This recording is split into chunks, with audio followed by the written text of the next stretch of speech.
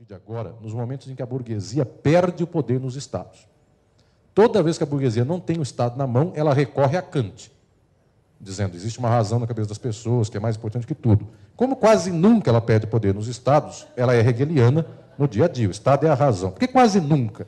Exemplos banais. Um dia, João Goulart disse que iria fazer uma tal reforma de base que ninguém sabia nem o que era, e ele era um estancieiro. Nesse dia, então, umas senhoras de São Paulo, lideradas pelo Ademar de Barros, vieram de lá de Santana até a Praça da Sé, segurando uma estátua de uma santa, pela Santa Mão do Ademar de Barros, e disseram por lá: contra esse Estado comunista e terrorista, tradição, família e propriedade.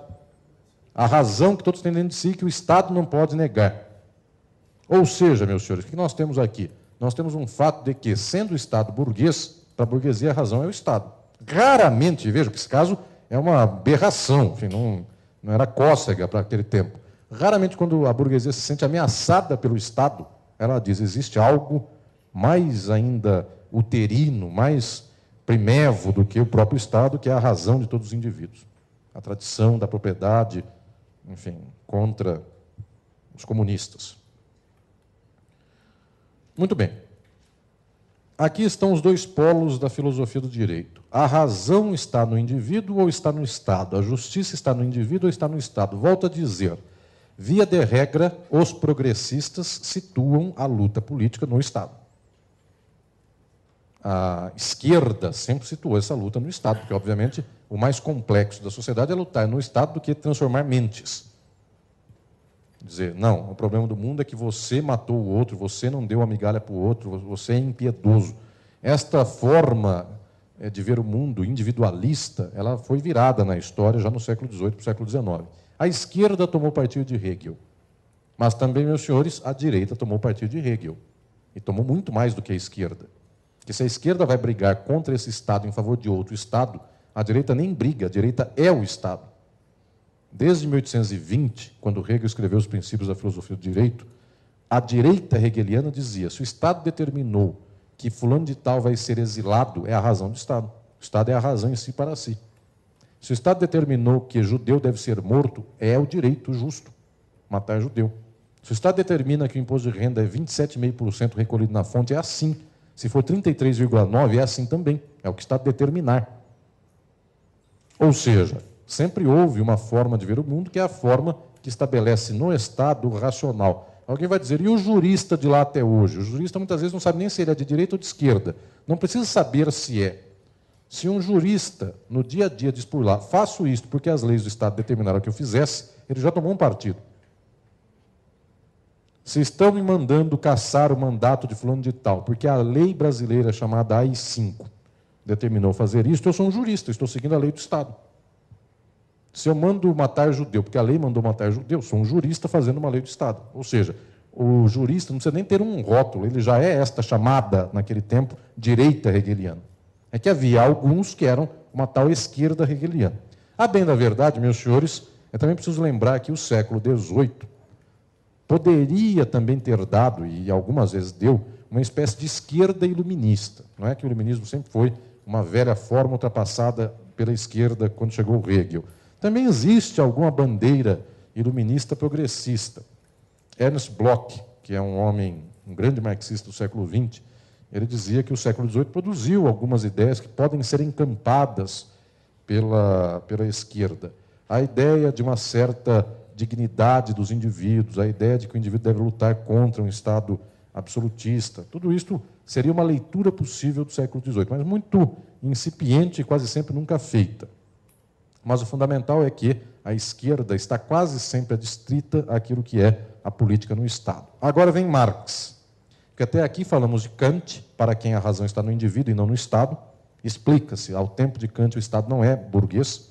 E Hegel, para quem o Estado é a razão e não o indivíduo. Agora vem Marx, e peculiarmente, meus senhores, Marx briga com os dois. Marx dá um tiro em cada um. E a depender da página, ele põe os dois numa fila só e um tiro só para os dois. Né? Para não gastar muita bala. Vejam lá. Marx há de dizer: a razão não vem dos indivíduos. Isto é uma questão óbvia. Os indivíduos não pensam todos a mesma coisa em todos os tempos, com boa vontade, conforme Kant já propunha. A liberdade e a igualdade propostas por Kant e pelos iluministas, este é o princípio do absurdo, exatamente porque os homens não são livres nem iguais. Então, quando eu digo da liberdade da igualdade, é justamente para mascarar, para tornar é, turva a possibilidade de entendimento do mundo que é de desiguais. Existem classes. Aqui Marx está começando a dizer já do fundamental. Se existem classes, a liberdade da classe pobre é vender-se para a classe rica. E a liberdade da classe rica é continuar rica. E a igualdade, meus senhores, aí vem um dado que todos sabem. Nunca a burguesia lutou por igualdade de condições. Que todos tivessem as mesmas condições de casa, de escola, de comida. A igualdade é meramente igualdade formal. Todos são iguais perante a lei. E existe um termo técnico de direito para isso, isonomia. Todos são iguais, o ISO aqui em termos de igualdade, no nomos, na norma, na lei. As pessoas só são iguais perante a lei. Então Marx vai dizer, isso aqui não é o paraíso da humanidade. Os direitos do indivíduo nunca foram o paraíso da humanidade. Isso ele já também fala na questão judaica, que é outra obra que tem relevo jurídico. Mas muito bem, nem a igualdade é igualdade, nem a liberdade é a liberdade. E o fundamento da sociedade capitalista não é o último da bandeira francesa para o povão se iludir, que é a fraternidade, mas o fundamento é a propriedade privada. O que é de alguém é contra todos os demais. É a apreensão privada dos capitais, ou seja, um princípio fundamental da filosofia moderna é a própria lógica econômica do capitalismo.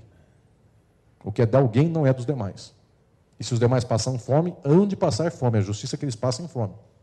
Sem terra encontraram uma fazenda improdutiva, invadiram pelo direito e o Estado. Os sem terra cometeram um crime e vão sair daquele local.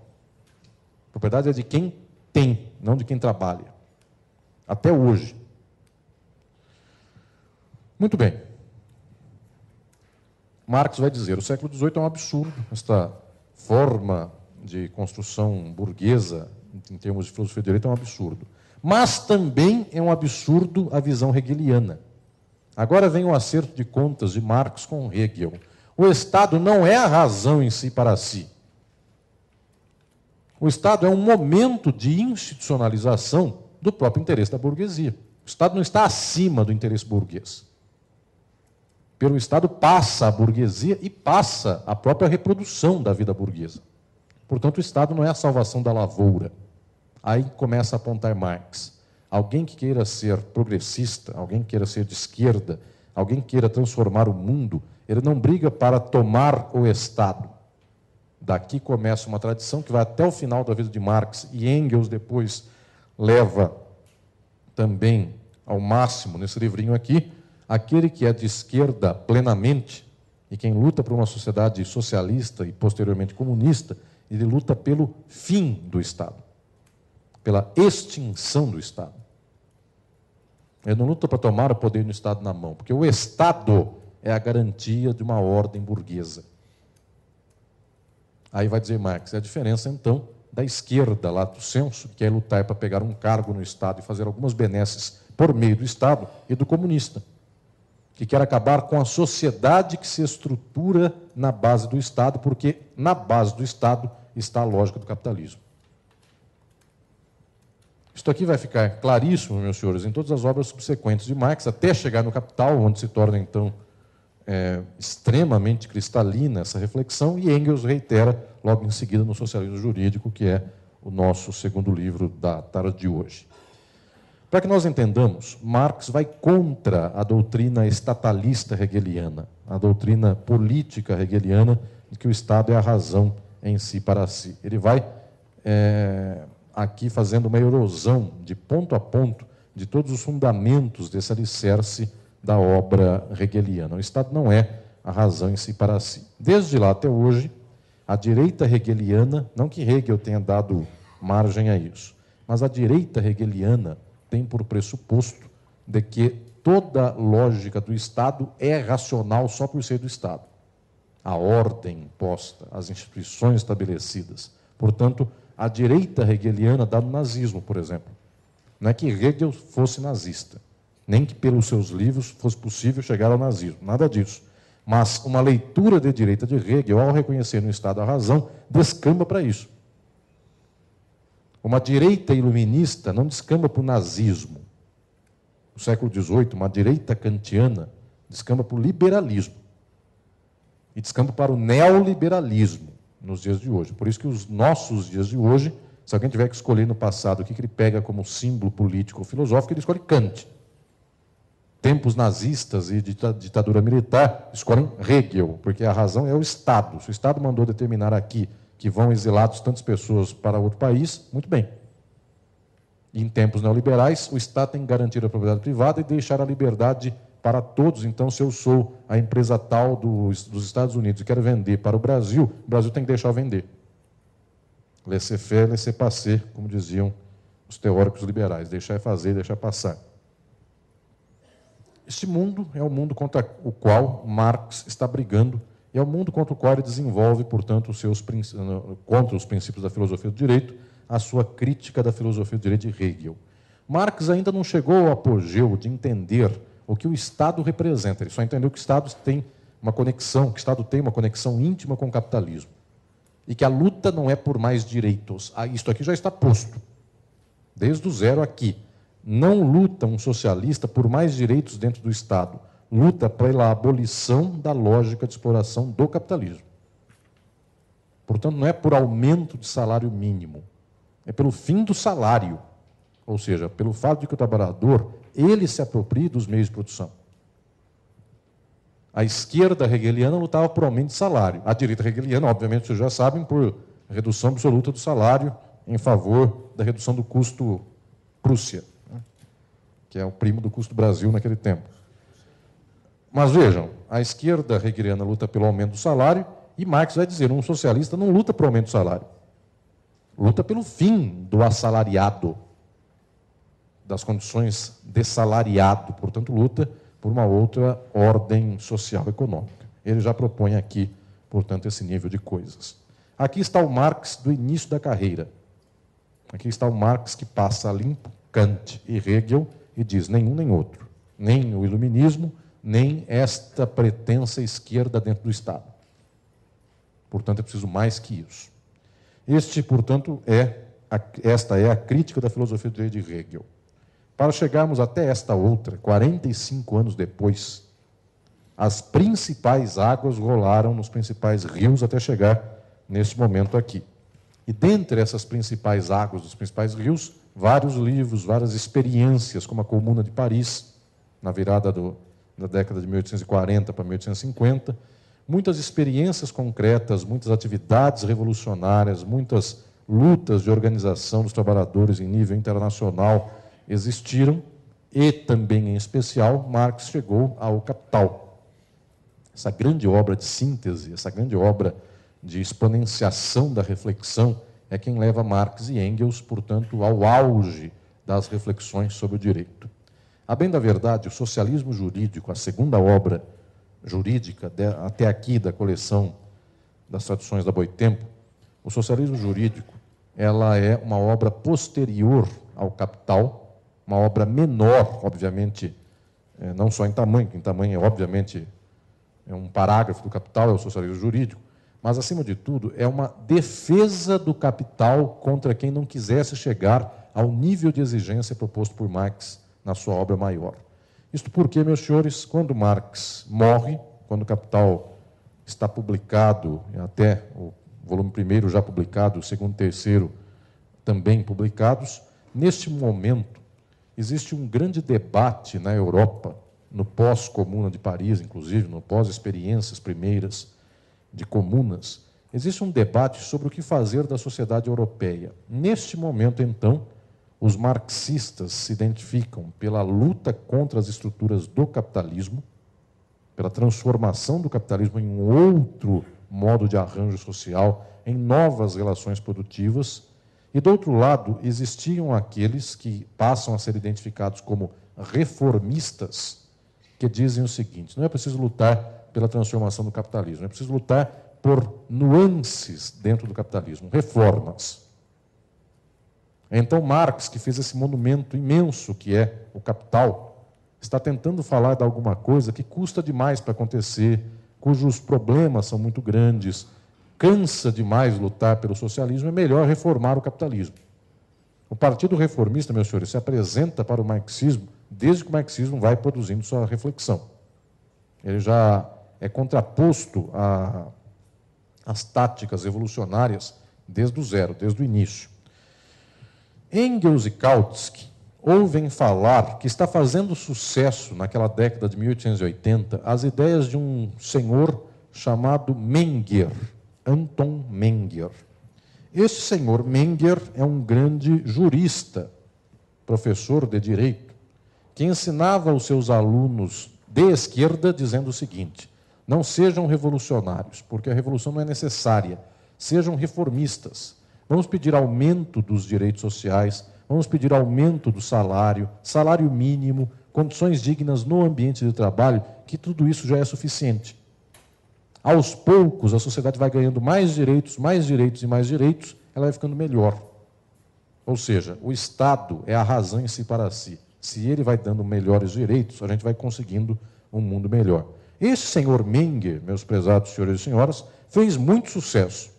Porque, obviamente, para aquele que está encostado numa parede dizendo lá a revolução dá muito trabalho, é muito bom ouvir um homem dizendo sou de esquerda e não estou pegando nada que seja pegar em armas, nada que seja lutar por um mundo totalmente diferente, que o trabalhador seja de fato igual ao universitário. Enfim, vamos dar umas certas condições para o trabalhador. Ele fica lá, a gente aqui, mas a gente fez nossa parte. É a ideia do colibri. Enfim, minha gota d'água contribuiu para apagar o incêndio da floresta. É, essas ideias reformistas sempre fazem muito sucesso, são mais fáceis.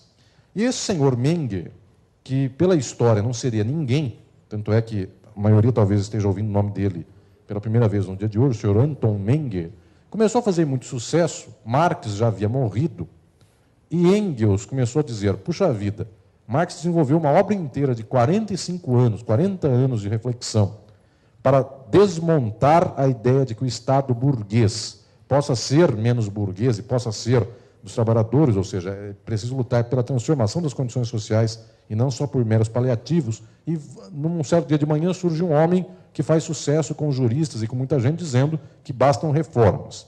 Tanto assim que eles então desferem um golpe mortal contra esse senhor Menger, dizendo, escrevendo um texto mostrando toda forma de compreensão do mundo e do direito de um transformador, de um revolucionário que busca o socialismo e o comunismo, não há de encontrar neste mundo relativamente composto para garantir o capital com migalhas para o trabalhador, não há de encontrar nem justiça, nem beleza, nem razão, nem tática no mundo como esse. Ou seja, o reformismo não é possível a um homem ou uma mulher que venha lutar pela transformação concreta das condições sociais. Como Engels e Kautsky, nesse momento ainda não renegado, nesse momento ainda era um Kautsky bastante revolucionário. Como Kautsky e Engels achavam medíocre ter que perder tempo para responder ao senhor Menger, eles escreveram o socialismo jurídico sem nome. E a primeira edição do socialismo jurídico surgiu sem dar nome de Engels e de Kautsky ao livro, porque não queriam fazer sucesso, porque vejam, um senhor que ninguém conhecia. Engels perdeu tempo para fazer um livro contra ele, é sinal que esse senhor seria muito importante. Então o livro saiu sem nome. Depois, então, a hora que ninguém mais lembrava quem seria o senhor Menger, aí começaram as novas edições a dizer Engels e Kautsky, que são autores do livro. Por que o livro se chama Socialismo Jurídico? Por uma razão muito simples. A proposta de Menger, e é uma proposta que até hoje agrada a juristas e a pessoas reformistas, é de que o socialismo seria conquistado com aumento de direitos sociais. Então, seria um socialismo por via jurídica. Quanto mais direitos nós dessemos ao trabalhador, mais os trabalhadores ficavam felizes, mais o capitalista ficava menos poderoso e, portanto, o mundo chegaria um dia ao socialismo. Por isto, esta alternativa de Menger era a alternativa do socialismo jurídico, ou também chamado socialismo de juristas. Os juristas seriam os engenheiros da reforma social. Vamos aumentando os direitos aqui, outros lá, assim chegamos nós a um certo nível de coisas. Mais ou menos, meus senhores e senhoras, é como disséssemos nos dias de hoje, de uma certa sociedade cidadã, ou seja, participação um pouco maior daqui, outro grupo ali, direito para minoria, e aí o mundo se torna um mundo socialista. Engels defende, neste caso, o velho Marx e vai dizer: o socialismo jurídico é a manutenção do capitalismo com desconto. Só isto. É o reformismo, sem nada a mais que isso. Portanto, o socialismo jurídico é uma tradição reformista, ela não leva ao socialismo. Agora vem a explicação fundamental. Não é simplesmente porque a sua intensidade de combate seja pequena. Não é uma questão quantitativa. É por um dado, e aqui é o mais alto de tudo aquilo que se possa pensar no marxismo sobre o direito. É porque o direito não é que ele seja insuficiente porque é pouco para chegarmos ao socialismo. É porque a forma do direito é a forma do capitalismo pelo direito passa a reprodução do capitalismo. Então, quando pelo direito nós queremos reformar o capitalismo, nós estamos mantendo os mesmos esteios, as mesmas estruturas que fundamentam o próprio capitalismo. Meus senhores, aqui vem o ponto alto da reflexão de Marx e Engels sobre o direito. Aqui repisada no socialismo jurídico, mas exponenciada no Capital, em especial no livro primeiro do Capital. que ponto alto é esse? O que identifica a sociedade capitalista? Marx, por todo o capital, há de fazer esta apreensão do que identifica a sociedade capitalista. No final das contas, a sociedade capitalista se estrutura em relações de produção nas quais o capital está separado do trabalhador, portanto, o capital está nas mãos do capitalista e toda a massa de trabalhadores, não tendo o capital, esta massa é obrigada a vender sua força de trabalho. Mas vejamos nós, diferentemente do escravagismo, diferentemente do feudalismo, as massas trabalhadoras não são coagidas a trabalhar. No escravagismo, no escravismo, é por meio do chicote. O escravo é jungido ao trabalho por meio do chicote. No feudalismo é pela impossibilidade de outros meios. O capitalismo é diferente. As massas são coagidas a trabalhar aqui com uma certa predisposição de sua vontade, ou seja, na hora do contrato de trabalho, aquele que vai ser explorado se apresenta voluntariamente para a exploração. Portanto, no capitalismo, as relações de produção precisam de um instrumento que nenhuma outra forma de produção precisava. Agora vem a diferença substancial. Nas sociedades escravistas e nas sociedades feudais, o escravo e o servo eram submetidos aos seus senhores pela força. Ou seja, os escravos e servos eram sujeitos à vontade do Senhor. Sujeitos. No capitalismo é diferente. O trabalhador no capitalismo é submetido ao capitalista, ao seu senhor, só que ele é um sujeito submetido ao seu capitalista, mas é um sujeito de direito. A ele é dado, em primeiro lugar, o direito e depois se diz a ele: agora que você tem o direito, venda para quem bem quiser. Eu tenho direito à vida, à liberdade, a ir e vir e fazer o que eu quero de mim. Então eu chego para um capitalista e falo: eu dou a você o direito de mandar em mim oito horas por dia, e nessas oito horas você fala o que eu faço, o que eu faço. Ou seja, o contrato de trabalho. Eu tenho direito às 24 horas do dia minhas, só que eu dou para alguém a possibilidade de que ele mande em mim oito horas por dia. 8, 10, 14, pouco importa. Neste momento, eu preciso, para dar a alguém o direito de mandar em mim, eu preciso ter direito. Grande invenção do capitalismo. Até então, um servo e um escravo eram mandados pelos seus senhores à força. Eles eram arrancados de um lugar, levados para o outro e mandados para trabalhar lá. No capitalismo é diferente. No capitalismo se dá aos sujeitos a condição de sujeitos de direito esta condição de sujeito de direito se dá a todos igualmente e se dá a todos, capitalistas e trabalhadores, igualmente, além da condição de sujeitos de direito. Se dá a liberdade de vender quanto quiser, para quem bem quiser. Então, a partir daí, as classes trabalhadoras chegam à classe capitalista e dizem: Eu estou me dando a você e aceito que você me pague em troca X reais. Ou seja, meus senhores, para que o capitalismo funcione, é preciso então inventar uma forma da exploração que nunca existiu. Até então, a forma da exploração era senhor chicoteando o escravo. Só. Agora, a forma da exploração é direito. Primeiro se faz de todo sujeito um sujeito de direito. Aí, o sujeito de direito dá o direito para alguém. E claro, a máquina parece muito perfeita e justa, porque tecnicamente o capitalista também dá um direito para o trabalhador dele. O direito do trabalhador dele que ele dá para o trabalhador é o seguinte: se o trabalhador trabalhar 8 horas por dia, 30 dias por mês, ao final um mês, o trabalhador arrancou um direito do capitalista. Que direito é? De receber dele 622 reais. Então também o capitalista está obrigado em relação ao trabalhador, obrigado a pagar salário.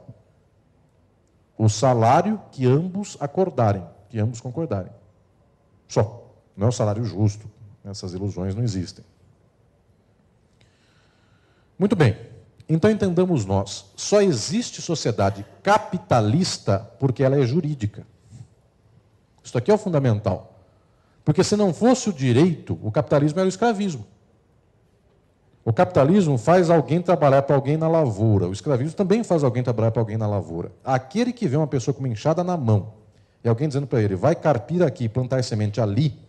Os senhores vendo esta cena e se forem perguntados, esta cena é escravagismo, feudalismo, capitalismo? Só a cena não responde. É escravagismo se aquele que está com a enxada na mão, ele ouve de alguém, vai carpir ali, plantar ali, ou eu te mato. Aí sim, escravagismo. É feudalismo, vai plantar ali e depois fazer tal coisa ali, ou então não vive no meu feudo e morre de fome. Feudalismo.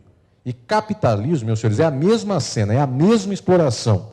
Só que diz o seguinte: vai carpir aqui, plantar ali, porque você quis. A resposta é essa. Você veio para mim e disse: Eu aceito a sua submissão, a minha submissão a você, oito horas por dia, nessas oito horas você me manda do jeito que eu quero. Eu não fui te buscar, você que veio. O capitalismo é mais ainda, é uma engrenagem ainda mais sofisticada, porque ninguém foi buscar ninguém. Você veio trabalhar para mim.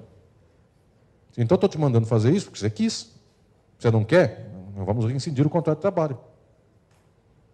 Então, observem, meus senhores e senhoras, que o fundamental para que o capitalismo exista é a forma jurídica. Primeiro dado, o sujeito de direito é fundamental para o capitalismo, porque até então a humanidade tinha sujeitos, pessoas submetidas a outras, na base do chicote, na base da violência, na base da impossibilidade de outros meios. Mas no capitalismo as pessoas continuam sendo submetidas às outras, só que submetidas por meio do direito. Vem um dado a mais, portanto, que faz a diferença do capitalismo. Conclusão de Marx é uma conclusão notável que toda a história jurídica posteriormente reitera. E eu chamo atenção para o nome daquele que é talvez o mais brilhante pensador marxista sobre isso em toda a história, que foi um russo de nome Pachucanes. Pachucanes e todos os juristas marxistas sempre perceberam o fato de que a forma do direito é necessária de todas as formas do capitalismo. O capitalismo só existe quando ele também se põe ao lado de formas jurídicas, porque até então as demais não são do direito, elas são violência direta. E a forma principal do capitalismo, o que estrutura a lógica do mundo capitalista, é a forma da mercadoria. O capitalismo tem uma diferença em relação às demais organizações sociais. Nas demais organizações sociais, um senhor de escravo mandava o escravo arar a terra e plantar uma semente porque ele queria comer. Até comer muito bem. Mas ele mandava o escravo plantar porque ele queria comer. Ou seja, aquilo que era plantado tinha o valor de ser usado um valor de uso. O capitalismo é bem diferente, porque no capitalismo alguém manda alguém plantar. É, muitos donos de fazendas no capitalismo mandam seus trabalhadores rurais, assalariados, plantar mamona. Eu dizer, por quê? Porque ele come, ele gosta muito de mamona, ele come mamona? Não, ele não sabe nem o que é mamona, nem para que serve. Mas é porque ele ouviu falar que se ele plantar arroz, dá X por hectare de dinheiro. Se ele plantar mamona, dá 10X. Resultado, ele planta, não é para consumir. Ele planta porque o resultado daquilo que ele planta e colhe vende-se no mercado com um peso financeiro, um peso mercantil, dez vezes maior do que o outro. Resultado, meus senhores, existe uma forma que organiza todas as coisas no capitalismo. Esta é a forma mercantil. Tudo no capitalismo vale mercantilmente. Tudo se exprime por dinheiro, tudo vale. O valor aqui não é valor intrínseco. Vale quanto o mercado paga. Por isso, alguém pega uma camiseta branca Se ela tem dois peixinhos assim, a camiseta vale 10 reais. Se ela põe um jacarezinho, vale 100 reais. É o mesmo algodão, mesma quantidade de gente trabalhando, etc. e tal. Qual a diferença de dois peixinhos para um jacarezinho? A diferença de dois peixinhos para um jacarezinho é que no mercado paga-se 10 vezes mais por isso. Ou seja, o valor da camiseta é um valor de troca. É um valor de troca. Portanto, a camiseta não é só mais uma camiseta, ela é aqui alguma coisa que se deu, não é mais o algodão feito tecido. Ela é fundamentalmente alguma coisa que se troca no mercado, é uma mercadoria, portanto, vale enquanto mercadoria. Para que uma coisa valha enquanto mercadoria, porque ela podia valer enquanto camiseta só. A pessoa ia lá, pegava a camiseta para si. Ou quem fez a camiseta, a camiseta é dele. Como é mercadoria, as pessoas transacionam as mercadorias. E para transacionarem, elas têm que ser sujeitos de direito. Mais uma vez, voltamos no zero.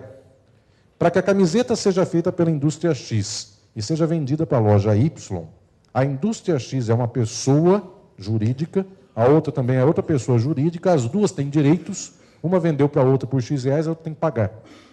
Ou seja, tudo está transacionado na base da mercadoria. E o direito é a peça fundamental para que uma coisa deixe de ser coisa e seja, então, uma mercadoria. E a grande mercadoria, senhoras e senhores, todos sabem disso, a principal das mercadorias não é camiseta, não é algodão, não é terra, nem semente, nem mamona, nem arroz. A principal das mercadorias é o trabalho.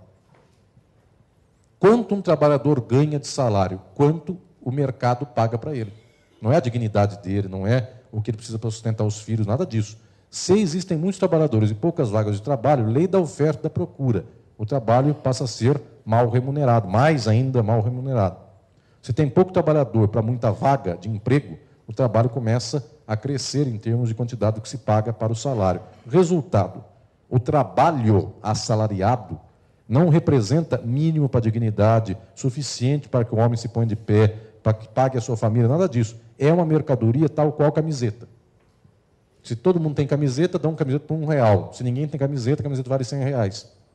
Qual a lógica do valor da camiseta? O que o mercado quiser. Qual a lógica do valor do trabalho do trabalhador? O que o mercado quiser.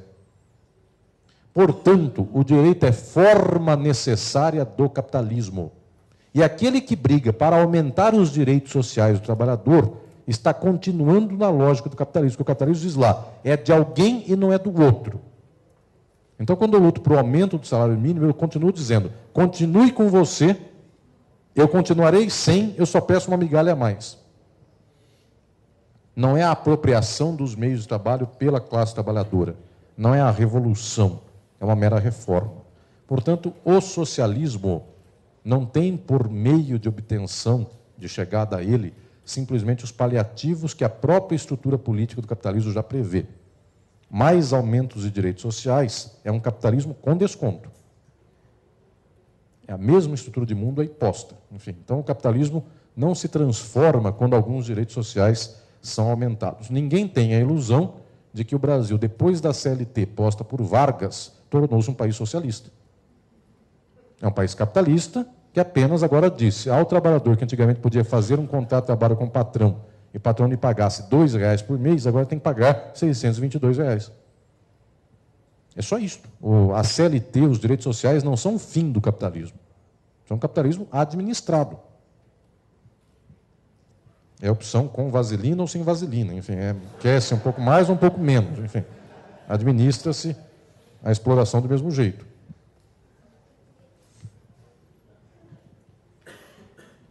Para o cabelo, né? Enfim, é uma, para, o trabalhador se apresentar esteticamente. É isso que eu quis dizer. Bem penteado o cabelo. Enfim, é com maquiagem ou sem maquiagem. Vou melhorar aqui os termos. Vejam lá, meus senhores. Conclusão de Marx no Capital. A forma jurídica só existe em modo de produção capitalista. No dia em que chegarmos a uma relação de produção socialista, extingue-se a forma política estatal e extingue-se o direito. Um índice de socialismo a chegar ao comunismo é o fim do Estado do Direito. Isso aqui é muito óbvio, Engels insiste classicamente aqui, no socialismo jurídico, e toda a melhor tradição marxista insiste com isso na história. Como é que se insiste com isso? A existência de estados não é um índice de uma sociedade desenvolvida, É o índice da miséria do capitalismo. Se existem estados, os povos do mundo estão divididos. Em primeiro lugar, é isso. Que eu passei da fronteira daqui do Rio Paraná para lá, o povo de lá é de outro estado, chamado Paraguai. Então, se aqui no Brasil eu conseguir 622 reais de salário mínimo, o mesmo irmão meu, trabalhador, dali da fronteira, do lado de lá, só lhe pagam a ele 100 reais. Agora, por que isso? Porque o mundo é dividido em estados. Então, a briga para o socialismo não é que um estado seja socialista, porque é impossível esta definição por meio estatal. A briga do socialismo é internacional. É, tanto do zero isso, que todo movimento comunista é uma internacional socialista. Eu não posso resolver o problema do socialismo no Brasil, do capitalismo no Brasil. É preciso chegar a um nível maior. A política estatal é uma concorrência entre capitais dos estados e para a miséria dos trabalhadores dos estados. Porque aí se diz então, não vou aumentar o salário mínimo no Brasil, agora é a via reversa. Senão eu levo a empresa para o Paraguai. Se vocês quiserem mil reais de salário mínimo, lá no Paraguai é 150, eu transfiro a empresa daqui e ali. Aí os trabalhadores do Brasil dizem, tudo bem, eu aceito 622 reais para não perder o emprego. Então, a forma política estatal, ela é estrutural da sociedade capitalista. O socialismo não é um punhado de estados socialistas. Porque eu digo que o socialismo existir, federação dos estados socialistas é uma redundância e é um absurdo. Porque são trabalhadores de todo mundo se autogestionando, se autorregulando. Portanto, não é uma federação de estados socialistas. O índice do Estado e o índice do direito ainda é índice de uma sociedade mercantilizada. A grande dificuldade, meus senhores, é a experiência dita socialista do século XX. Experiência, por exemplo, soviética experiência soviética é uma experiência de distribuição ainda dentro de uma forma mercantil. Tira de um lado, põe para o outro, o Estado administra. Em praticamente boa parte dos momentos, o Estado soviético fez a função de um capitalista. Paga o salário para esse, agora tira esse daqui e põe lá. Ou seja, o burguês se assumiu aqui na condição de Estado. Foi o fim da propriedade privada, mas não foi o fim ainda de uma estrutura de mundo mercantilizada. Ela ainda teve direito. Tanto é que Stalin no auge da sua estrutura política de poder soviético, Stalin achou que podia chegar ao socialismo fazendo uma nova constituição para a União Soviética e decretando na Constituição, como de fato aconteceu na parte final da década de 1930. Stalin decretou na Constituição: a partir de agora a União Soviética é socialista. Pachucanes, que foi o maior, socio, o maior é, jurista do, do, do marxismo, Pascoal disse, mas é impossível alguém chegar ao socialismo por decreto jurídico. O socialismo é uma transformação das relações de produção, não é um decreto. Portanto, Stalin ainda estava embebido de uma visão de mundo que dizia por lá: o socialismo se chega por decreto jurídico, é o socialismo jurídico. Décadas antes, Engels já havia batido nisso. Não é uma declaração jurídica, um princípio posto no Estado, nem é tampouco o aumento de condições do trabalhador por meio de direitos sociais que faz alguém chegar ao socialismo. É o fim da exploração capitalista que chega ao socialismo. Portanto, a União Soviética não se tornou socialista porque Stalin decretou na Constituição que ela era, naquele momento, socialista. O socialismo não é um objeto de autodeclaração dos Estados. É uma forma de reprodução social distinta do capitalismo. Então, meus senhores, Marx, desde o começo, com seus arrobos juvenis da crítica da filosofia do direito de Hegel, quando diz por lá, não sou nem individualista, nem estatalista, estou ao lado de uma classe contra a outra que a explora, e a explora no mundo inteiro e não só dentro do Estado apenas, desde aquele momento, passando por toda a produção, por toda a experiência das comunas, chegando ao capital, e depois, mais uma vez, reiterado por Engels e Kautsky no socialismo jurídico, o marxismo não entende o direito, prestem muita atenção nesse ponto fundamental. O direito não é um instrumento neutro à disposição de uma classe para ganhar da outra. O direito não é um instrumento que está por aí técnico, neutro, que é usado pela burguesia até os dias de hoje, de tal sorte que no dia de amanhã, seus trabalhadores o usarem, então o mundo vira socialista só pelo uso. O Estado também não é neutro de tal sorte que então a classe trabalhadora, quando chega no poder do Estado, o Estado vira socialista. A classe trabalhadora no poder do Estado é o mesmo Estado capitalista e o mesmo capitalismo, mesmo capitalismo sendo administrado agora por gerentes trabalhadores. Só. Não é a figura de quem administra o Estado que faz o Estado ser socialista ou capitalista. A forma estatal é capitalista e a forma jurídica é capitalista, de tal sorte que só resta um caminho ao marxista. O caminho do marxista não é a reforma. Caminho do marxista é a revolução. Tanto assim, meus senhores, nós temos um século inteiro, o século XX, de reformas no mundo. Qual o balanço das reformas? Tudo que a Europa construiu de bem-estar social, da noite para o dia se quebra. Tudo que os trabalhadores conquistaram, mais ou menos em 50 anos, no pós-segunda guerra, o direito não tem força própria, nem o Estado tem força própria para dizer nunca mais perderão. O poder da exploração do capital é tamanho que se o Estado faz 50 anos que deu o salário mínimo para o trabalhador, faz 50 anos que as gerações nascem sabendo que morrerão com aposentadoria e salário mínimo, uma tal crise do capital tem efeitos tão devastadores que volta esta crise, faz voltar para trás todos os direitos sociais já ganhos. Portanto, o socialismo jurídico, que é esse ganho reformista por meio do Estado, ele nem, nem sequer tem também eixo de gravidade econômico próprio porque ele depende da economia, que é capitalista, depende justamente desta lógica de exacerbação produtiva, de exacerbação lucrativa, melhor dizendo, que é do próprio capitalismo. Ou seja, as classes trabalhadoras podem dormir uma noite mais ou menos sossegadas com o socialismo jurídico, mas não duas. A grande garantia de que os trabalhadores não sejam explorados é quando não haja capitalista que transacionou ou pactuou com o trabalhador de que explorará com desconto. É quando não haja mais exploradores no mundo. Aí também não haverá mais explorados, e eis talvez a forma política de uma sociedade socialista. A plena igualdade dos trabalhadores, o pleno arranjo entre os trabalhadores, e nesse momento, meus senhores, é o dia em que nós todos pegaremos e colocaremos no ombro a responsabilidade sobre todos nós. Não é um arranjo com o capital, nem é um arranjo coordenado pelo Estado que nos faz dizer o que podemos ou não. É um mundo tomado, então, em nossas mãos e é um mundo sem as divisões estruturais. Marx aponta, em 1840, na década de 1840, com muita esperança para o fato de que o mundo é feito de explorados, que nada tem, por isso um dia eles poderão ter tudo, e Engels, 45 anos depois, reitera a mesma trilha.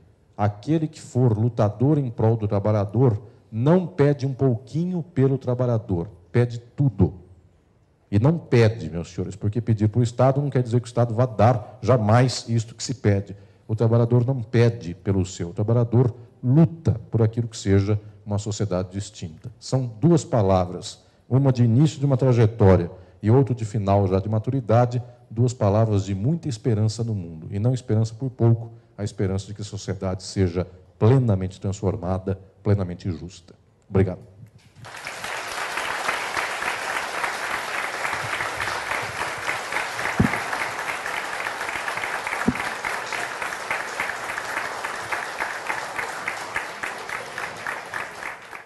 Gente começa com uma questão uh, relacionada aí, digamos, às maiores preocupações daqueles uh, estudantes de direito e profissionais do direito preocupados com as questões do marxismo e questões progressistas.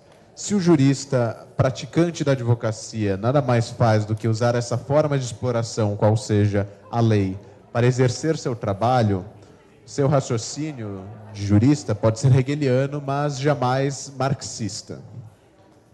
Como você, Alisson, uh, que não só é formado em direito, mas também pratica a advocacia, explica esta contradição? É possível ser um jurista, um advogado marxista? Se não, qual deles você é?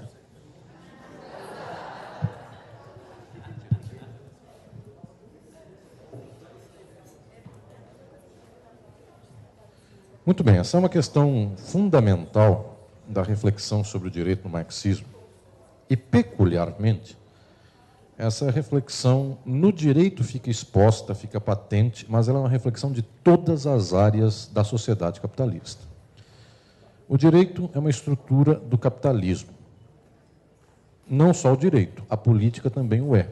Ou seja, quem entra para as atividades políticas numa sociedade capitalista entra administrando esta sociedade, entra funcionando, se fazendo funcionar no todo de uma estrutura social que é capitalista. Exemplos mais banais que isso.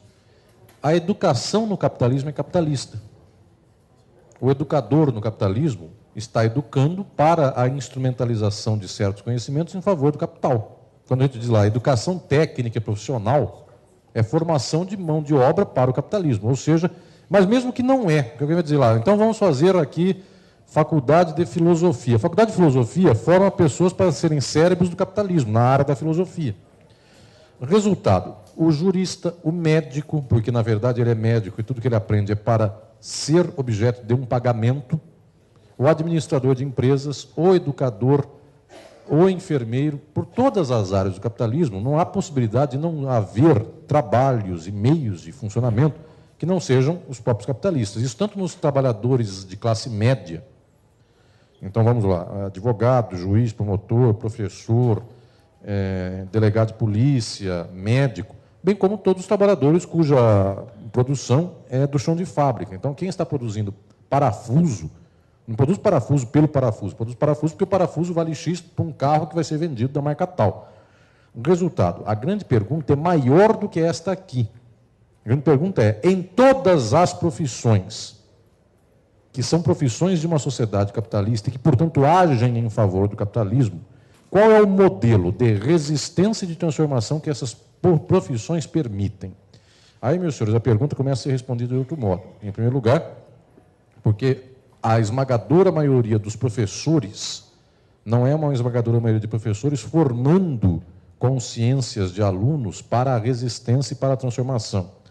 A esmagadora maioria dos juristas, e talvez aqui o número é maior ainda proporcionalmente do que o de professores, a esmagadora maioria de juristas não age nesses interstícios da sua atividade jurídica para a transformação social, age muito pelo contrário, para a manutenção disso.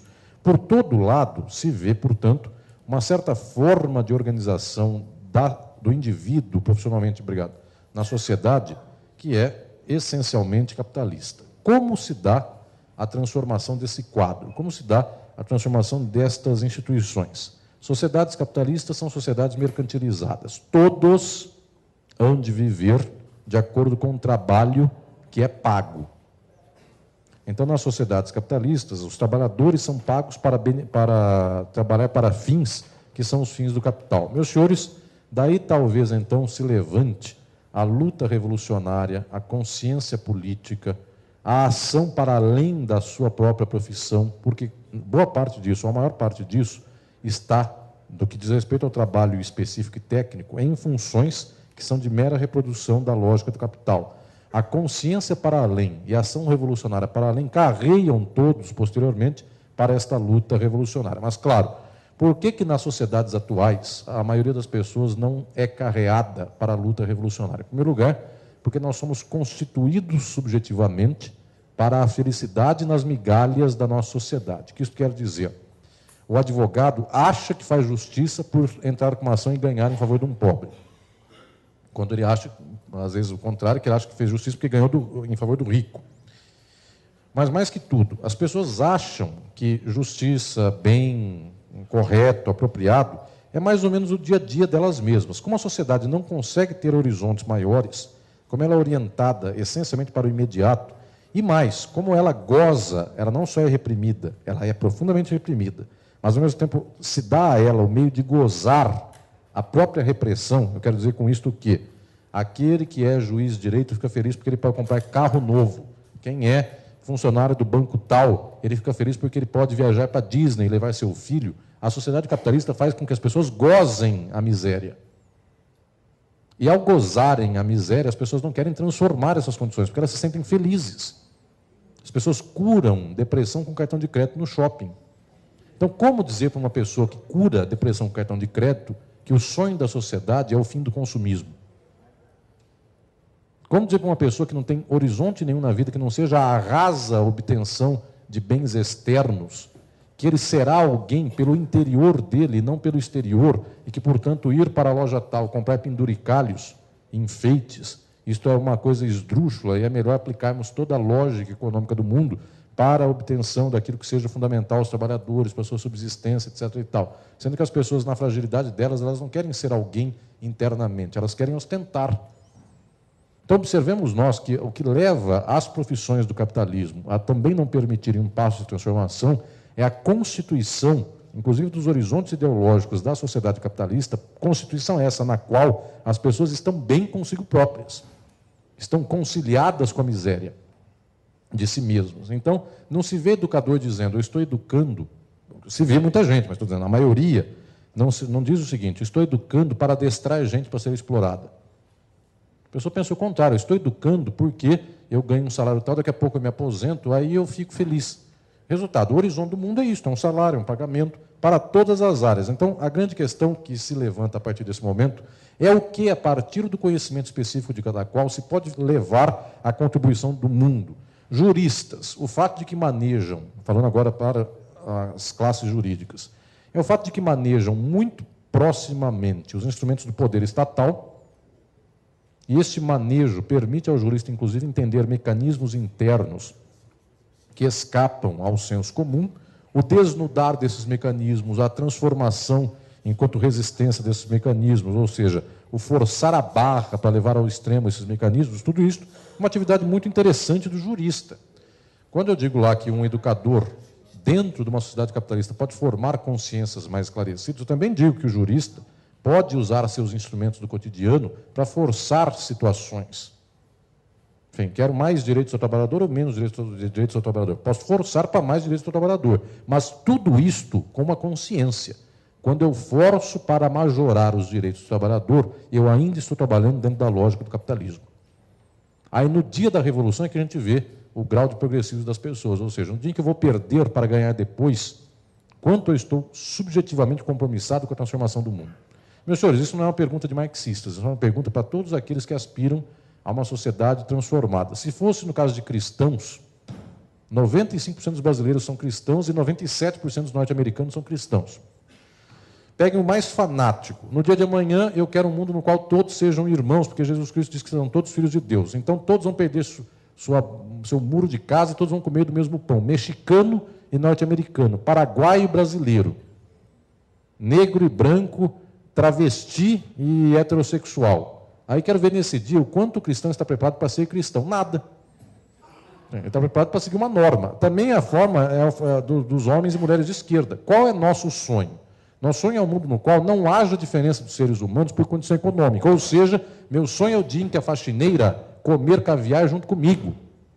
Só que nesse dia eu tenho que estar subjetivamente muito preparado, porque até então eu sou ninguém e a única coisa que eu tenho de melhor com a minha faxineira é que eu como melhor que ela. Só que no dia que ela come melhor do que eu, ou igual a mim, neste dia eu tenho que estar subjetivamente muito preparado para reconhecer nela uma igual a mim e ser feliz com isso. A classe média do Brasil, vendo o pobre ganhar Bolsa Família, já começa a xingar pobre. É. Onde já se viu? Andava de avião, agora eles andam também. Resultado: se a pessoa não pode respirar o mesmo avião, essa pessoa não aspira ao socialismo. As pessoas não sonham com o socialismo. O socialismo é isso, todos serem iguais. Então vejamos nós, estes modos de constituição da subjetividade, pelos quais parece que o socialista é alguém que luta em favor do povo, dando migalha, e dá no socialismo jurídico. O socialismo jurídico, de fato, é uma migalha para o povo. Enfim, eu sou esclarecido, você não é. Eu faço uma lei em teu favor. Eu sou progressista. Só que eu mantive a hierarquia. Eu quero ver o dia no qual o faxineiro puder orientar o sentido da universidade do mesmo modo que o professor catedrático. Ele também faz parte de uma comunidade acadêmica universitária. Ou seja, no dia em que as pessoas são olhadas como iguais, muda inclusive o jeito de pensar do mundo. Meus senhores, eu volto a dizer, a constituição de uma subjetividade revolucionária demanda de nós muito. No caso do educador, que ele prepare alguém para ser trabalhador amanhã da empresa tal, mas acima de tudo que seja crítico. E é dificílimo ser trabalhador da indústria tal, sofrer o dia inteiro e ainda chegar de noite ler na televisão, nas entrelinhas do que se fala, aquilo que não se falou. É dificílimo um negócio desse. E dois, juristas. O jurista lida com as instituições e com o direito, mas o jurista se tem na mente que ele está lidando com a estrutura injusta do mundo, mas a obrigação dele, a meta, o sonho dele é o justo. Pelo menos ele tem um horizonte na vida que vai dizer: eu lido com isto isto não quero, eu quero transformar isto no mundo. Portanto, meus senhores, juristas para a lei eu conheço 99,9% dos juristas. Juristas por justo equivalem a socialistas para a igualdade, educadores para a emancipação do homem, esses aí são a minoria da minoria, e é este sonho que devemos acalentar. acalentar. Trabalhadores da saúde para a saúde, e não para comprar um carro, e não para ser médico e ser chamado de doutor, é, político para não ser chamado de excelência, para ser aquele que está lá, no caso concreto atual, representando a massa trabalhadora, os seus eleitores. Observemos nós o quanto é difícil, não só no direito, mas por todo lado, saber escapar do capitalismo. Mas volto a dizer, saber inclusive o que representa uma sociedade socialista. Representa uma sociedade na qual, se há 60% de negros no Brasil, 60% das pessoas mandando no país são negras. Quanto a gente está preparado para ver nosso professor ser negro, nosso médico ser negro, nosso juiz ser negro. A gente não está preparado para isso. A gente acha que o socialismo é o branco falando para o negro: não, eu não te mato, eu te ponho aqui no lugar devido, eu te respeito. Isso não é socialismo, é muito mais que isso. Eu faço uma pergunta para eh, todo lado, enfim, eh, toda vez que juiz passa em concurso, eu vou dar aulas para os novos juízes, eu pergunto a eles: que dia a gente está preparado para ver um travesti ser juiz? E alguém dizer, muito bem, o travesti juiz me condenou, eu aceito a justiça do meu ato, eh, a justiça da sentença contra o meu ato. A gente não vai aceitar isso jamais. Ah, você não é gente, enfim, você não é ser humano. É isso que a gente vai ver. A gente não aceita juiz negro, juiz travesti, enfim, é, vem daí a história. Que dirá todos serem iguais. Falta muito para isso. Portanto, a quem fez a pergunta, eu aconselho a mesma crise que tem o jurista, compartilhemos-nos todos, enfim, a crise jornalistas, enfim, trabalho na rede X televisão. O que faço eu do mundo? Enfim, é a mesma crise do advogado. Trabalho eu no fórum. A escolha é para saber quem é pior. Enfim.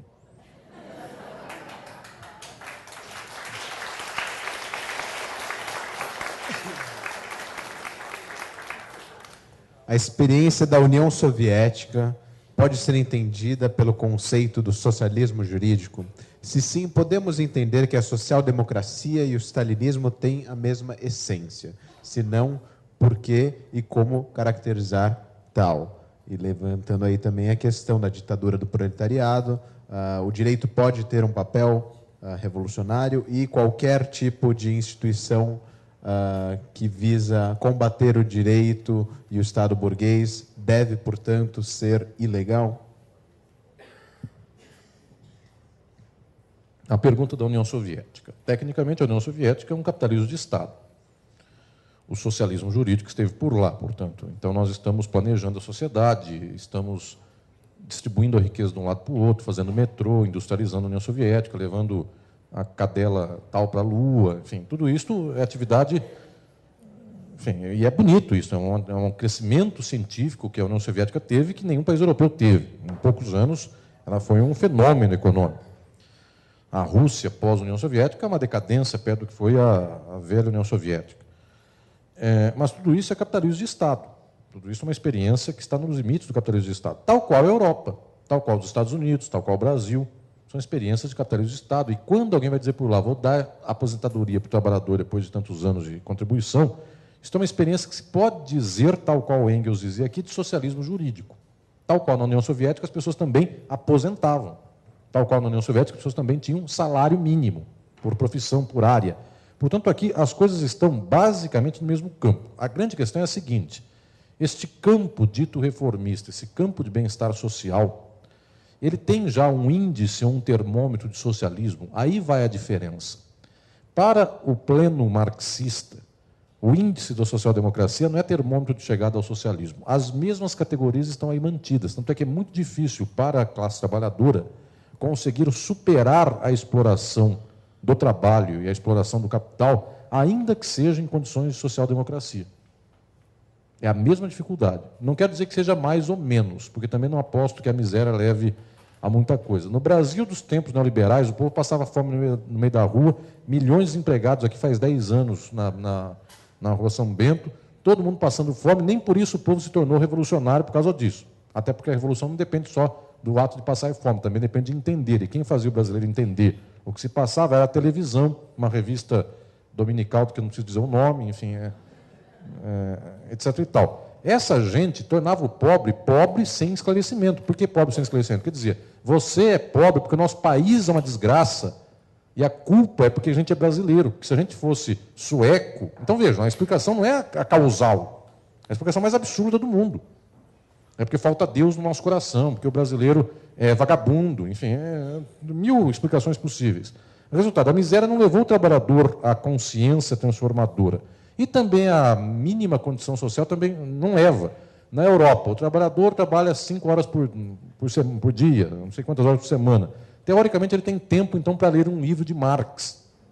O trabalhador não lê um livro de Marx. Enfim, se ele tem tempo sobrando, ele vai para Ibiza. O espanhol foi para Ibiza. Resultado, o espanhol trabalhador que ganhou um pouco mais, teve seu dinheiro e foi para Ibiza, equivale a um trabalhador no Brasil que não tem condição social nenhuma e que leu a revista X.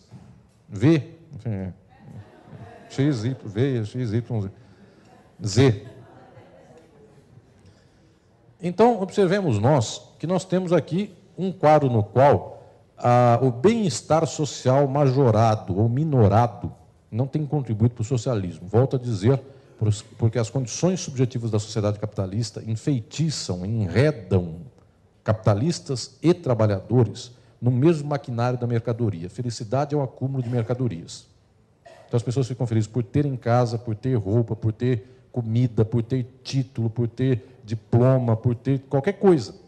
Numa sociedade como essa, quanto mais arranjo ou menos arranjo para ter, nós estamos ainda no mesmo lugar. Volto a dizer, quando surge um socialista no mundo?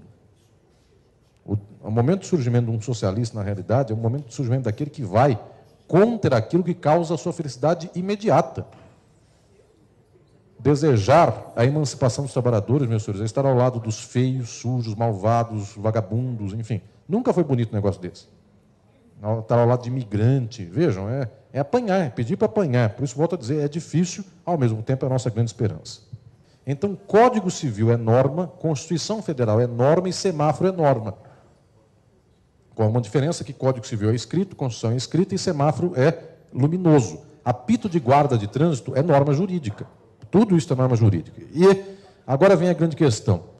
É que nós não sabemos diferenciar, identificar o cerne dessa forma jurídica. O sinal de trânsito é verdade que é uma norma para o trânsito, mas a grande operacionalização jurídica desse sinal de trânsito é o fato de que, para a sociedade, os sinais, as, os atos que estão correspondentes aos sinais, todos eles geram certas manifestações que são mercantis. Se eu passei com meu carro vermelho em cima de alguém, o meu carro no sinal vermelho, eu atropelei alguém, matei alguém, então a sociedade capitalista me estrutura de tal modo que ao ato criminoso que eu fiz equivale uma pena X. Ou seja, para nós, todos os atos que cometemos e que são indesejáveis para o Estado, eles têm forma mercantil. A um ato criminoso equivale uma pena X como se fosse uma equivalência mercantil. Ora, a sociedade capitalista continua tendo trânsito, semáforo, etc. e tal. Só que as soluções para todas essas questões não são as soluções da equivalência. É isso que é muito difícil para entendermos nós. Pessoas que reiteradamente passam no sinal vermelho, elas indo para a prisão, muito pouco elas melhoram de deixar de andar no sinal vermelho. São outros os instrumentos que a sociedade deve desenvolver para organizar, inclusive, um bom nível de organização do trânsito. Meus senhores, o socialista, este sim aposta na educação. Ele não aposta no poder da repressão. Vamos lá dizer, por que, que pessoas não respeitam o sinal de trânsito? Ah, porque não vão para a cadeia. Isso é uma resposta tipicamente capitalista. A esperança do socialismo é que as pessoas se eduquem de tal modo que elas de fato evitem o trânsito, passar no sinal vermelho, porque isso afeta ela e afeta os outros. Então, de fato, o socialismo diminui, perece a forma jurídica, o que não quer dizer que pereçam as orientações técnicas do mundo. Mais que isso, já está muito comprovado o seguinte fato: sociedades de desigualdade, o que não quer dizer que sejam sociedades ricas ou pobres, de desigualdade, quanto maior a desigualdade, maior a criminalidade. Não quer dizer que sejam sociedades de pobreza, quer dizer o seguinte: se eu moro na favela, do meu lado tem um cara morando numa mansão, isto gera um estado psicológico nas pessoas de profundo desajuste. Se todo mundo mora mais ou menos na favela, é uma coisa. E se todo mundo mora mais ou menos na mansão, também é a mesma coisa. O problema é a desigualdade. Estados Unidos é uma sociedade profundamente desigual cada vez mais, o Brasil é outra dessas profundamente desigual. Resultado, altíssimos índices de criminalidade. Como é que a gente resolve isso? Mandando para a cadeia. Quanto mais gente vai para a cadeia, mais gente é criminosa. A gente enxuga gelo, o direito enxuga gelo. Muito bem, no dia em que nós transformamos as condições sociais numa sociedade socialista, boa parte desses desejos, ah, ele tem uma mansão e não tem, acabam. Porque o problema não é desejar uma mansão. As pessoas são infelizes no capitalismo, meus senhores, não é pelo fato de que tem ou não uma coisa, é que o outro tem mais. A gente vive até bem com X, mas como tem gente que tem 10X e a gente só tem X, a gente quer acumular um pouco mais para ver se chega no nível dele. Mas aí tem o Antônio Meiro de Moraes. Resultado: todo mundo é infeliz em um certo grau. Tem o Ike Batista, enfim, aí a pessoa é mais infeliz ainda, enfim. Resultado, sempre tem. É, isso é um princípio budista. O que causa a infelicidade do homem é o desejo. Como a gente deseja o que o outro tem e a gente não tem, a gente sofre. Aí o sofrimento é, é ficar enfurnado em casa, roubar do outro, xingar o outro. É inveja. Vejam, pessoas com inveja, o que elas querem fazer? Derrubar o outro, mas elas, enfim, não chegam lá. Resultado da história. Estes problemas de riqueza de miséria, de diferença, acabam com o socialismo. Alguém vai dizer, ah, mas aí restarão casos, por exemplo, como de estupradores, pedófilos, etc. e tal. Sim, esses casos são casos que restam em qualquer tipo de sociedade. Mas, meus senhores, aí sim se entende que num caso de pedófilo, não é o direito que o resolve. Um caso de pedófilo, que é tratado hoje com direito, em que nível? Põe o pedófilo na cadeia, ele sai da cadeia e continua pedófilo. Ou seja, o caso do pedófilo é um caso de ciências naturais, biológicas, eu quero dizer, um caso de saúde. É um caso de uma pessoa que tem um desarranjo de saúde psíquica. E este caso não precisa do direito para ser resolvido. Esse caso, inclusive, deveria ser explicitamente mais bem tratado como sendo um caso de saúde. Então, na sociedade socialista, na qual ninguém vai roubar mansão, porque não tem mansão e ele também está suficientemente dado, se alguém persevera, enfim, ah, ele é ladrão por inclinação, enfim, ele tem tudo que o outro tem, mas mesmo assim ele rouba do outro. É este caso, meus senhores, não é do jurídico. Esse caso é de patologia. Quero que os senhores entendam o negócio desse. Ah, o caso, a pessoa continua estuprando numa sociedade socialista. A essa pessoa haverá tratamento, continua o tratamento. Só que o tratamento, agora sim, é um tratamento mais eficaz, não é mandar para a cadeia por sete anos de prisão. É entender o que causa naquela psique tal questão. Ou seja, aí se revelam os verdadeiros tratamentos para as questões, que até agora a gente tem misturado tudo na base de X de crime, X de pena. E isso não resolve. Enfim, a gente põe estuprador, pedófilo, ladrão de galinha, ladrão de, de manteiga, é, é, Paulo Maluf, a gente põe tudo no mesmo barco. Enfim, é, menos o Paulo Maluf. Que não... Mas entendam, é, não adianta a gente dizer um negócio desse. Como, uh, vejam lá, como equivaler, com todo respeito, um pedófilo a um, a um corrupto? Enfim, não, é, não é equivalência. Um caso, volto a dizer, é um caso em que um dia a humanidade há de se desenvolver para descobrir. É um caso de medicina, de psiquiatria. Outro caso é um caso de estruturas sociais. Então a pergunta: quando acaba a forma jurídica, o que resta no socialismo? Aí sim começa a história. Aí a gente aposta no marxismo. Até agora, o que a gente tem é pré-história da humanidade, que a gente está tratando qualquer coisa com uma arma só. Gripe e câncer, a gente está tratando com injeção. Então, no dia em que acabar esta estrutura do mundo, aí sim, casos de pessoas que têm alto grau de desajuste social, junta de psicólogos, de pedagogos. Meus senhores, a gente aposta na humanidade. No fundo, a gente aposta na, na, na, na possibilidade da humanidade ser emancipada eu sei que na plateia daqui, não preciso nem ter perguntado antes, mas eu sei que tem muito educador, muitos educadores. O educador aposta na sua profissão. Só que como é que a gente faz numa sociedade capitalista que a gente ensina a pessoa a ser emancipada, crítica, sendo que isso não vale para nada? É difícil. Na nossa situação do educador, ensinar para a emancipação é muito difícil. Só que em outros níveis fica melhor. Então a pessoa vai lá dizer, olha, vamos ter consenso social, etc. O aluno levanta também e fala, cai na prova. Enfim, é é, num tipo de sociedade dessa, todo conhecimento é para um fim.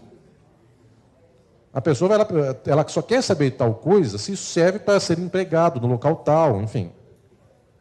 É um grave problema. Então, mais uma vez, nesse caso, a esperança de podermos avançar para além da ordem mercantil e jurídica. Para concluir, aproveitando que a gente está falando aí de perspectivas futuras, para Marx, o homem possui uma essência, é o trabalho, essa essência é construída pela história?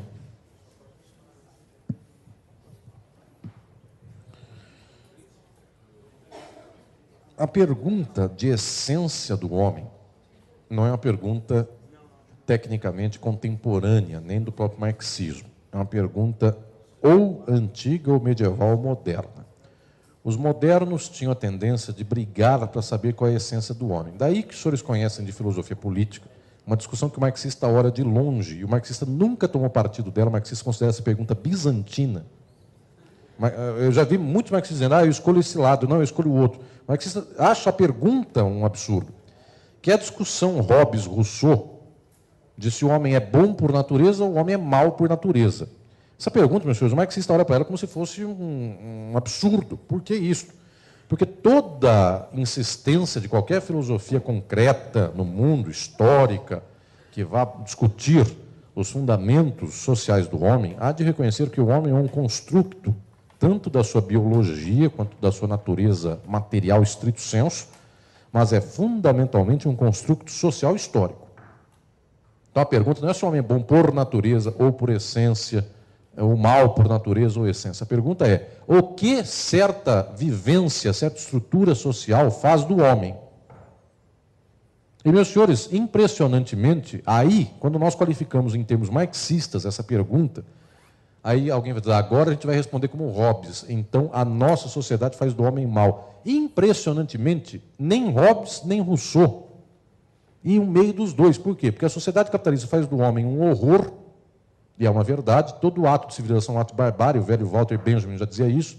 Isso quer dizer, a pessoa que diz por lá, eu tenho uma casa linda, etc e tal, quer dizer, milhões de pessoas no mundo não têm casa. Então, o orgulho dele ter a casa linda quer dizer a infelicidade de muitos outros. Eu fiz uma cirurgia plástica e me tornei mais bonita, etc e tal. Isso quer dizer, milhões de pessoas morreram de câncer sem ter um hospital para curar o câncer e eu fiz cirurgia plástica. Eu comprei um produto X em Paris para passar no cabelo, e quantos milhares ou milhões de pessoas queriam ter comprado um remédio para curar a doença e não compraram, eu comprei um remédio cabelo, um produto para o cabelo. Resultado, todo ato bonito da sociedade capitalista é uma barbárie. Eu sou professor X, catedrático, quer dizer, milhões de pessoas poderiam ter estudado na mesma condição que eu e não estudaram. É só isso.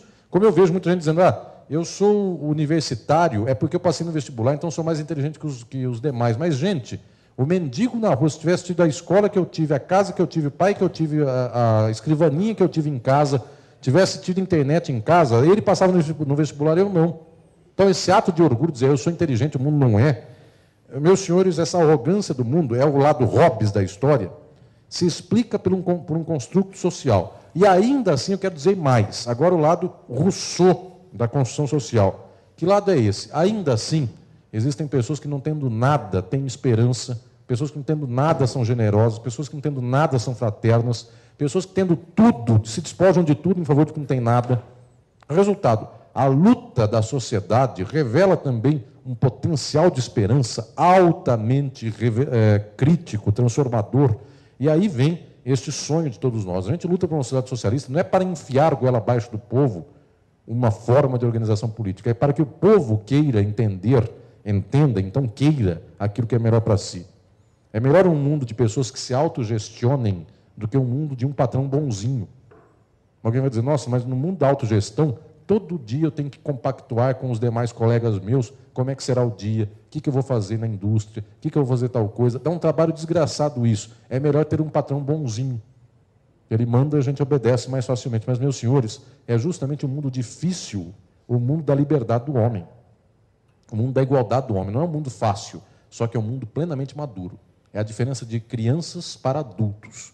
E tem muito adulto criança. O adulto criança é aquele que diz lá: "Ah, eu queria que Deus me desse meios de curar minha doença. Eu queria eh, que Deus me desse meios de eu ser feliz, é porque a minha namorada me traiu, o outro largou, não sei quem". Tudo isso é uma ilusão infantil que a gente tem ainda como adultos. A mesma ilusão quando a gente diz lá, é melhor um patrão bonzinho, porque o patrão bonzinho é a criança eterna. Eu tenho um superego que manda em mim. Eu transfiro para o superego meu, externo, aquilo que vai ser a minha própria determinação de vida. O difícil, meus senhores, é ser igual. É extremamente difícil ser igual. Amar igualmente. Que essa resistência faz um século do machismo contra o feminismo. É uma resistência de um século. Ah, qual é o grande medo disso? É o medo que a mulher seja igual ao homem. Então, para o homem é muito confortável que ele mande na mulher, a mulher seja obrigada a ser submissa. O dia que a mulher é igual ao homem, a pactuação do amor entre dois iguais. Só que esta é a maturidade da vida, ou seja, é o amar plenamente, não porque alguém tem dinheiro. Então a pessoa vai dizer por lá: ah, um dia que eu for socialista, o que, que eu tenho de melhor para as mulheres que o outro não tem? Porque enquanto eu tenho um carro, eu vou bem. O outro tem moto, e tem gente que anda a pé, então eu tenho um carro e eu tenho expectativa de que um dia eu tenha um, como disse um fulano para mim, um tal Camaro, enfim, né? o dia que o cara tiver um carro Camaro, enfim, aí ele vai melhor ainda, enfim. Resultado, como é que alguém ama alguém? Ama pelo carro que ele tem, então o cara está feliz. O dia que o carro não desempata mais o amor, aí a pessoa fica frágil, ela se sente frágil. Mas, meus senhores, é uma besteira isso, é uma imaturidade, porque no dia em que não é o carro que desempata, aí o amor é pleno, ou não é. Porque enquanto o amor foi o carro que eu tenho, a BMW que eu tenho, um dia eu perco a BMW. Ah, eu sou feliz porque eu sou muito bonito e a minha mulher gosta de mim. Amanhã eu tenho um acidente de carro, fico sem as pernas. Aí perdi a mulher. É melhor uma construção de amor verdadeiro, de iguais, no qual os dois construam é, constantemente as suas formas de ser. E o socialismo é isso. Dói mais, talvez, ser igual ao outro, mas é mais sólido. Porque todo dia nós estamos construindo juntos. E não se pode dizer, ah, ele foi enfiado goela abaixo do outro. Você construiu comigo. É um relacionamento maduro. O relacionamento maduro é mais difícil do que um infantilizado. Só que, ao mesmo tempo, é muito mais pleno. Ele não, não acaba em dois minutos. Não acaba quando perdeu o carro. Bati a BMW perdi o gosto da. Enfim, me tornei feio. Não é algo nesse sentido. É algo, portanto, construído num nível muito maior. Meus prezados companheiros e companheiras, em termos de reflexão jurídica, o marxismo tem suas obras fundantes, aqui são duas, a crítica da filosofia de Hegel o socialismo jurídico, mais o Capital, mais tantas outras. Eu falei da questão judaica, falei de tantos outros livros mais. E, acima de tudo, o marxismo tem uma história posterior, porque o marxismo acabou em 1880. O marxismo começa daí vem para frente. É, muitos grandes pensadores no que tange ao direito, eu lembro de Pachucanes, Pachucanes, esse grande nome da teoria jurídica do marxismo, a a própria editora Boitempo tem publicado talvez o mais importante estudo do mundo sobre Pachucanes, que é um livro que se chama Marxismo e Direito, um estudo sobre Pachucanes, do nosso queridíssimo mestre Márcio Bilharinho Naves. O professor Márcio Naves é certamente o autor do estudo mais importante do mundo sobre Pachucanes. Então, vale a pena é, começarmos a ter esta sequência de conhecimento sobre as questões jurídicas e uma série de reflexões que tem se produzido a esse respeito. Só aqui eu vejo vários grandes juristas, autores de livros de marxismo jurídico. Eu estou olhando aqui de cabeça, estou vendo Silvio Grilo, é, Paula, eu estou vendo Marcos Alci, são quatro autores de grandes textos marxistas do direito. Eu estou olhando para ver se eu vejo mais aqui. Mas eu vi mais, inclusive, autores que têm obras publicadas sobre isso, têm textos refletindo sobre essas questões, e, portanto, vale a pena que os senhores se, é, se abeirem desta perspectiva que o marxismo tem realizado para o direito. Eu quero dizer aqui, meu prezado Kim, para acabarmos este evento, minha querida Neiva, em nome dos sindicatos bancários e todos, Cidinha, que aqui está presente, todos que estão aqui nesta tarde de hoje, que o aprender do marxismo, no caso, o aprender do marxismo jurídico, que é uma especificidade em termos de tema dentro do marxismo, é muito difícil e impacta as nossas vidas, porque nos faz repensar as coisas. Mas isso é filosofia. Isso é um aprendizado que muda nosso horizonte. O marxismo, de fato, de toda a filosofia, não é, é a única filosofia não especulativa. Ela está orientada em favor da transformação social. Marx, na tese 11, já dizia por lá que os filósofos até hoje interpretaram o mundo, ponto e vírgula, mas é preciso transformá-lo. E nosso sonho é pela transformação do mundo. Quero dizer que estou à disposição de todos, aqui também no final, para conversar foram dezenas de perguntas, a gente respondeu só três, é, pegando uma de cada bloco aqui, as mais significativas, mas desde agora estou à disposição de todos e também para outras ocasiões, e os incentivo a continuarmos nessa jornada de estudo e de entendimento, para que a nossa prática não seja uma prática vazia, sem horizonte, sem sentido, mas também um estudo com prática, para que a gente só não saiba sem aplicar no mundo. Portanto, muita esperança de que essa luta seja contínua e um dia a gente possa ver o um mundo melhor, transformado, socialista, que é o nosso sonho em termos de justiça. Obrigado.